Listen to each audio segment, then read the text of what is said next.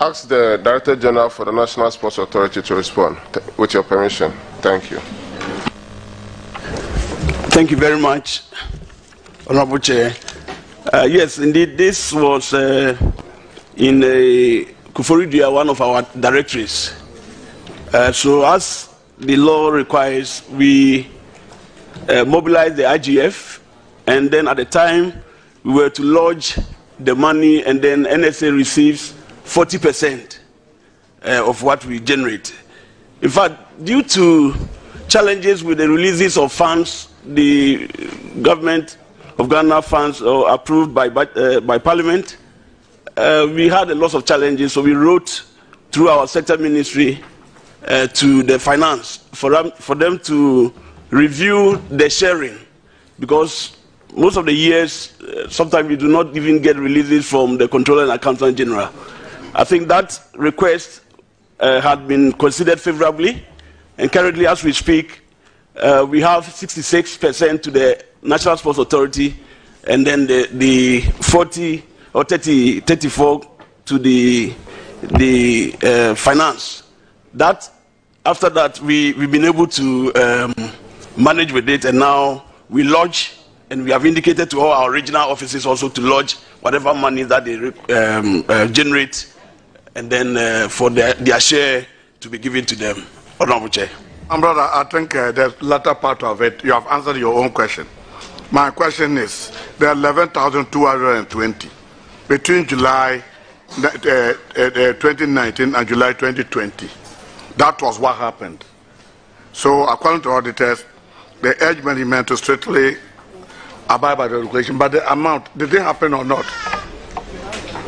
Yes, so the, the, when we received the report, we wrote to the Koforidua, because this happened in the Koforidua, for them to confirm as to whether this amount was indeed not lodged. Uh, it was confirmed to us recently, and steps have been taken to pay back that amount that belonged. Yes. I think that is fine. But uh, as you are saying that now you have got the, the clearance, now you can spend up to a certain amount. But this was a mistake. Then, Chairman, I think, uh, uh, I don't know. The auditors, unfortunately for me, the auditors did not talk of refunding the money or paying the money back to. But I think, uh, Mr. Chairman, if you can uh, probably see that they did not get the approval, but they spent the money. By going forward, as we talk today, now they have got the approval of about 30 something percent, but that money was spent without that. The auditors did not recommend for refund, so the chairman is aware, so the chairman handle.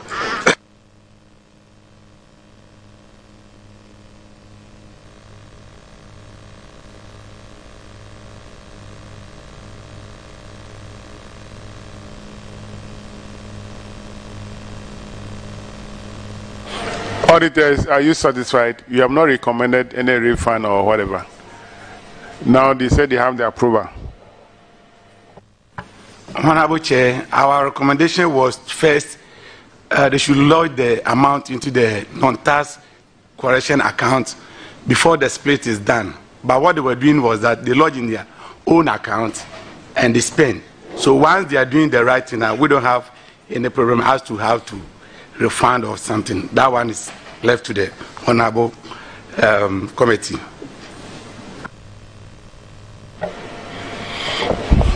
Yeah, so you spend without authority. Now you have authority to spend. So we are going to ask you to refund this portion from your future uh, revenue. So the recommendation is that clerk take note. The authority must refund this 11,200 back to non-tax revenue account. Let's move to the next one, paragraph 271. Honorable Kisi. Thank you, Chairman. This has to do with uh, a Kumasi uh, related issue. Prolonged interdiction of staff resulted in avoidable loss of 35,173 Ghana cedis. And in relation to Section 8 of the Labor Regulation uh, 2007, which stipulates that when an employer interdicts an employee, the employer shall pay not less than 50% of the employee's salary for six months during the investigation, disciplinary or criminal proceedings of an offense for which the employee has been charged and pay the salary until uh, the decision has, has been brought to finality. In this case, it appears that we delayed either in uh, one, started the half payment, the 50% payment, and then also we delayed in bringing to a conclusion the matter within six months. Um, what is the update um, at the moment? Have we had a conclusion? And also, have we recovered? Or is the person still now working after the investigation, for which then uh, there shouldn't be an issue? Thank you so much, Chairman. Chairman, I will still want the Director General to respond to this. Thank you very much, Honorable Chair. Uh, indeed, this issue happened in 2018 uh, in relation to the number 12 expose, uh, which was uh, uh, led by Anas, and a number of officers then were affected, including my own predecessor, who was the Director General then. So all of them were actually um, interdicted, and the investigation was directed by presidency. Um, they were investigated. Some of them were exonerated. Others uh, were found culpable. This particular individual was part of them, those to be investigated.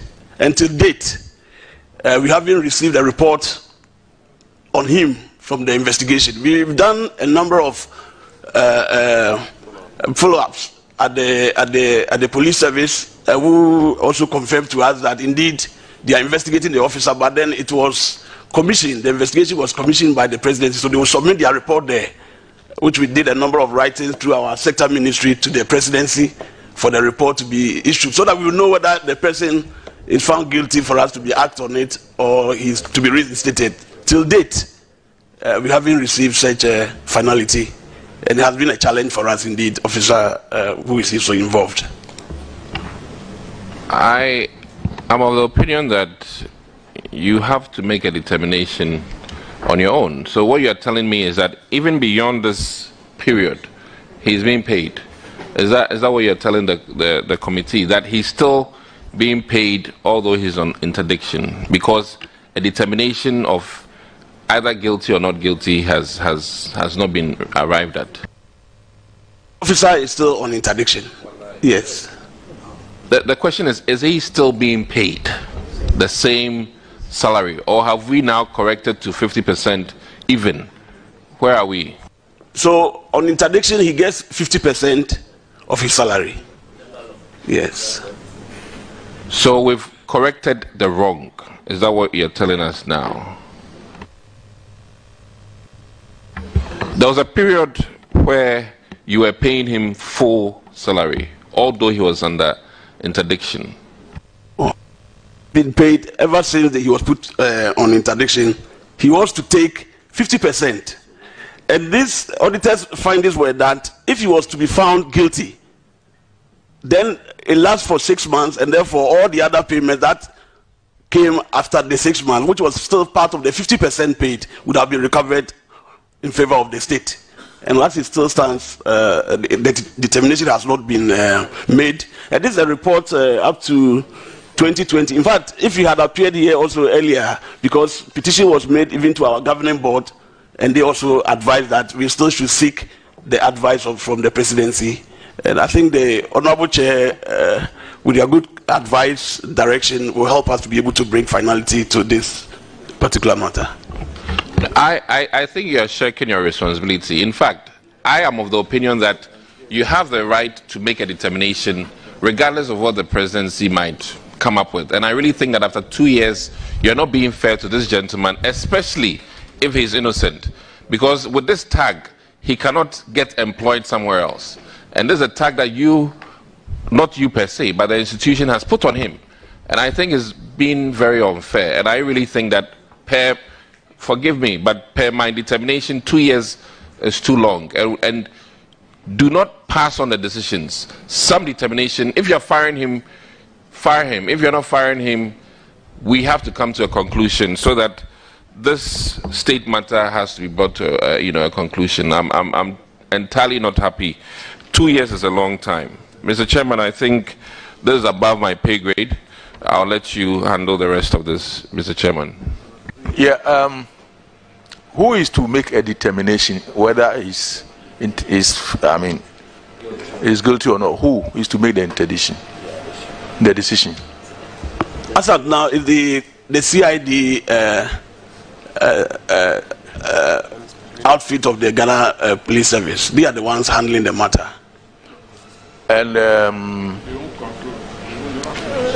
when was the last time you, you visited them for for to see what is happening to the case? In fact, uh, a, a, number of times we have written. When was the last um, time?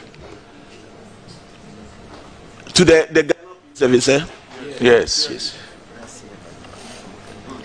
Uh, last year, but I can't confirm the actual date. Um, I remember even the labor union, uh, the labor commission, the gentleman. Uh, you said you have written to them, yes, to the police. Yes, we have a number of. Do you have a copy of that letter?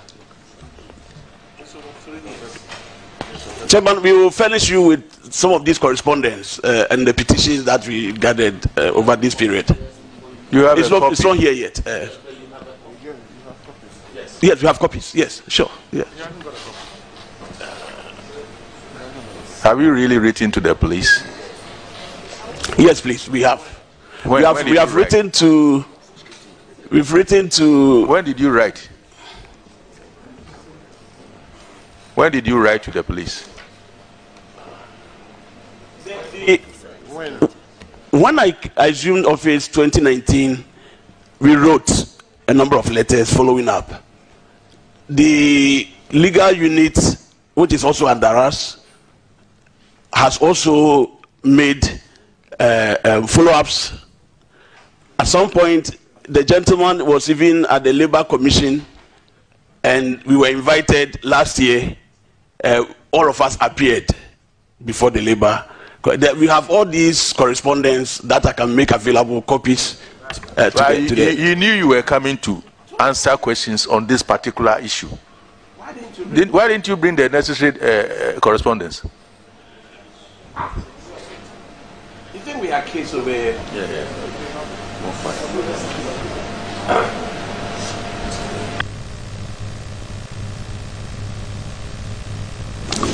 Honorable Chair, the, the one from the Labour Commission, um, we have copies here. Uh, Papa, the latest?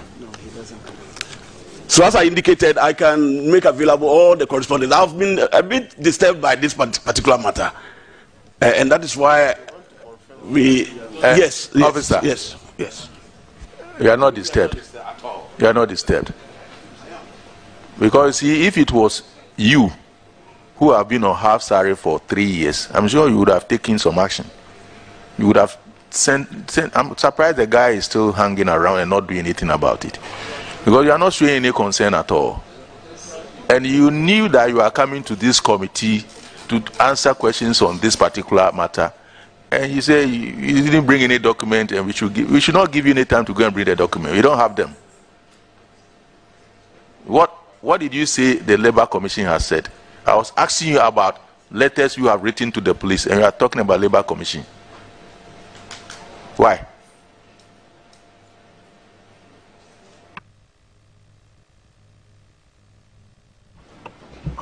Uh, excuse me, sir. Could you could you state your position again? Yeah, Director General, National Sports Authority, sir. Director General. Yes. I have a credibility issue. This case is about three and a half years old.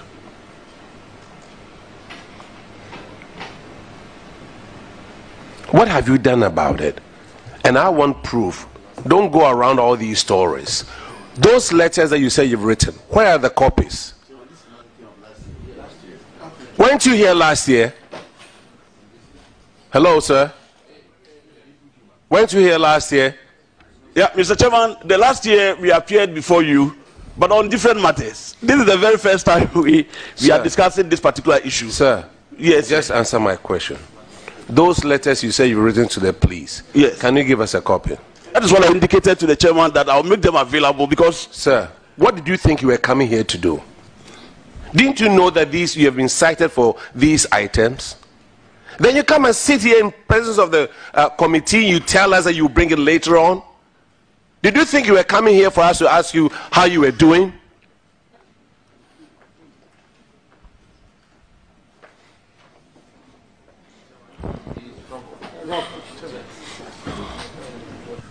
Uh, Chairman, thank you.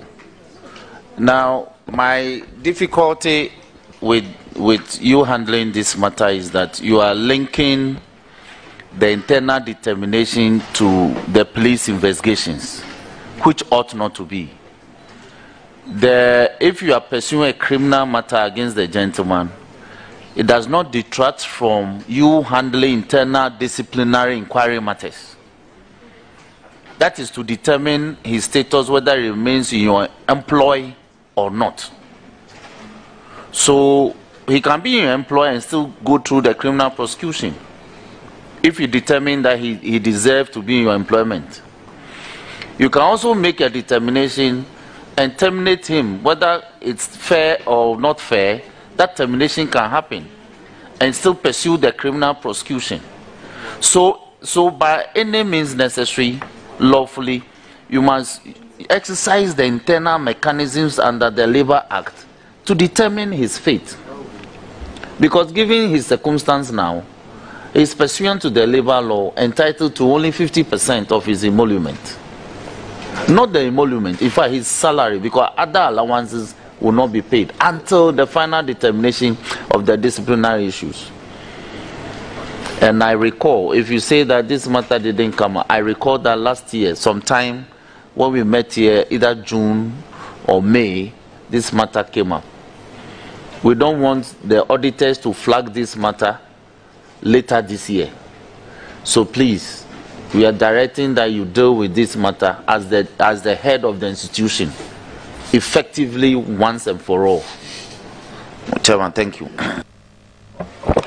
Is the case still with the Labor Commission? yes, sir. And what is delaying the determination by the Labor Commission? Mr. Chairman, as I indicated in my earlier submission, um, because the investigation was commissioned not by us, but then we were to act to make the officer interdicted. So we were we indicated to the Labour Commission that we have we are still pursuing to get a, a, a report, in fact, a directive, for us to be able to even know the outcome of that investigation. You see, the announced announced issues uh, most of these evidences are not uh, available to us. The police has them, and they say we did not commission that investigation. But this is 2018. The interdiction took place in 2018, June. And so it's well over three years. Don't you think that the matter is being prolonged too much? Indeed, indeed, it is prolonged because at the time before my predecessor, then there was acting Director General, uh, my own brother uh, Alhaji uh, uh, Majid Bawa. He even initiated this uh, process of the interdiction, and then I came in 2019. But it's, it's been delayed too much. Yes, I, I, I agree with you. And I'm not sure that um, the last time that Labor Commission called this case is, I'm sure it will be more than six months or a year. So it, virtually nothing is being done about the case. Nothing is being done about the case.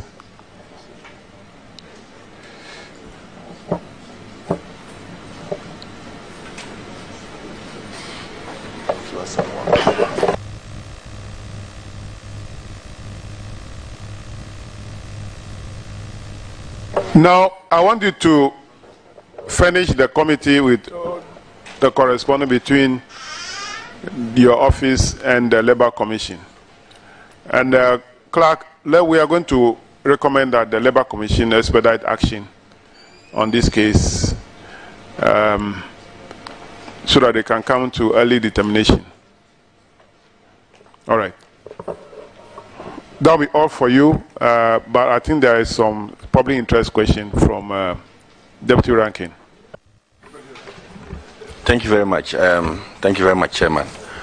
Minister, um, it has to do with the Black Stars. Um, I know that immediately after the the finals of the World Cup, countries who, uh, for one reason or the other, lost their or uh, sacked their coaches have made efforts to recruit new ones. I know of Portugal, Belgium is doing the same and all of that. But I did not see that from Ghana. Um, what really are you doing? Because it looks like it's become a matter of public interest. And every Ghanaian who loves football and follows the Black Stars would want immediately a, a new Black Star coach. So, Minister. Th- thank you so much, Chairman. Chairman, yes, indeed, after the World Cup, countries that lost their uh, head coach have made effort of replacing them. And you've mentioned countries like Portugal, France, and uh, they've even renewed, some of them contracts have been renewed. In Ghana, the FA, which is the agency or the organization uh, in charge of making sure that uh, they hire a coach, is in the process. And uh, I personally have engaged them and uh, they are working to, as at last week, the indication was that they will bring the final report to the ministry, possibly this week or next week. And because uh, I also know that uh, we have an assignment in March, and we need to have a, a, replacement of head coach in place so that he can start preparing in earnest to get our team in place for the AFCON qualifiers, which is going to take place in March. So, indeed, the country should be assured that the FA is working to ensure that we get a replacement.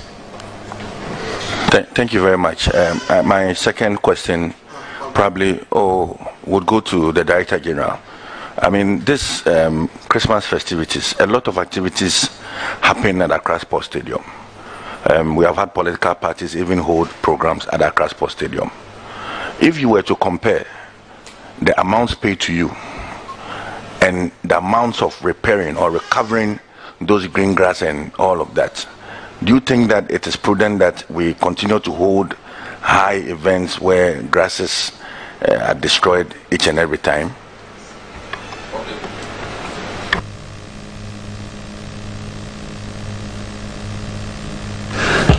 Thank you very much, Mr. Chairman, and uh, for for this question also.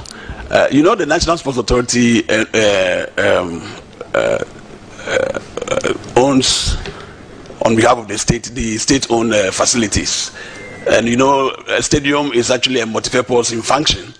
Uh, which can be utilized for many, many, other activities. Many sports, in fact, our 47 sporting associations, all of them have place in there.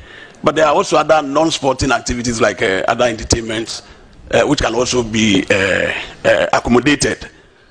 And I think our political parties, this is not the first time, but I think last year in particular, we received the National Democratic Congress that came in to also do their Congress uh, successfully. the National, the New Patriotic Party was also there. The question others. is the, the revenue that you generate from hiring a place is it sufficient enough to repair the damages you are talking too much yes the the what we generate uh, helps to repair for for damage to the the, the facility i think uh, i would say uh, it's not really of a burden the the positive aspect of revenue generation which is very uh, positive for the running of the organization especially when you look at the last year the budget that you approved for us uh, by end of it, we we got yes.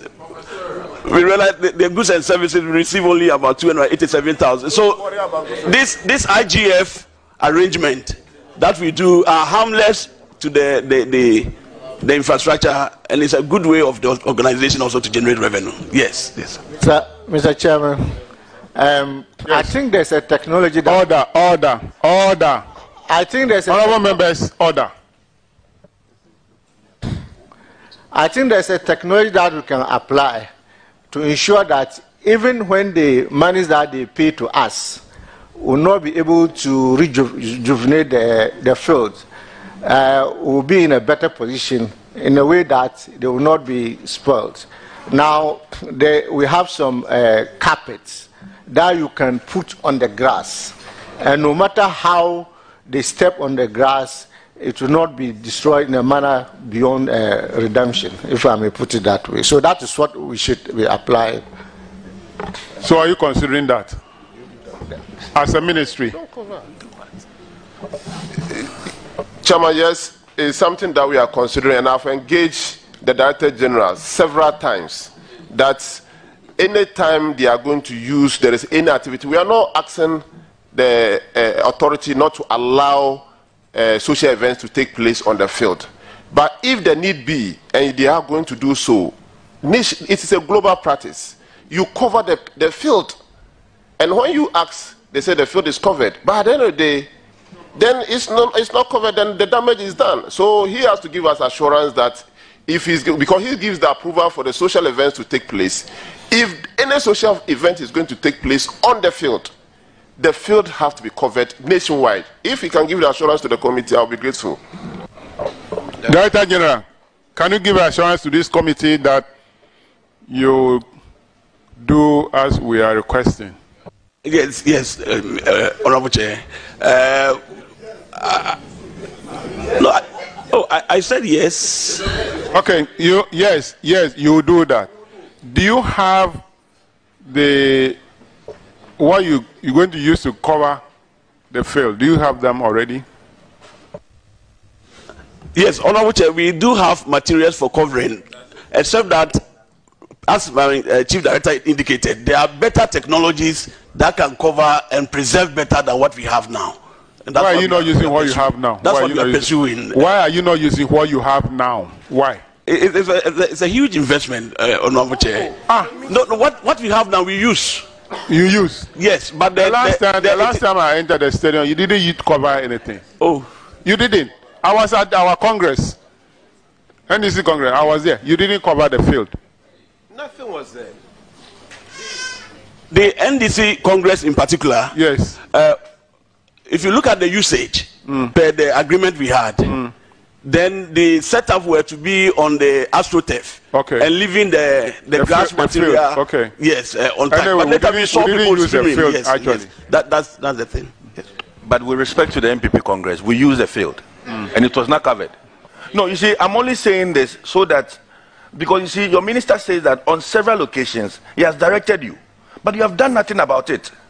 And and if you were to look at the cost involved in repairing the field after this, after every event, Shatta Wale recently held a- an event. It covered the entire field.